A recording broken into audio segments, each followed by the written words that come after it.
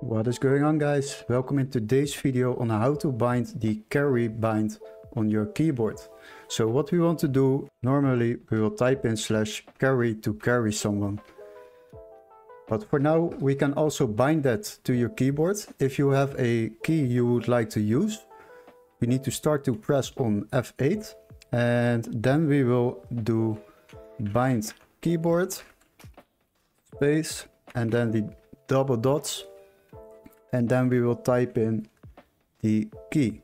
Let's say we would like to use the number 8. Type in 8 and then we will do it again the double dots and then we will type in carry. And now if you press the 8 then you have bind the key.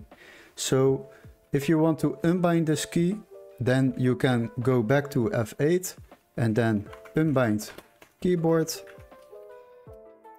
space double dot 8 and now you have unbinded the key. So that is basically how you bind and unbind a key and the carry command.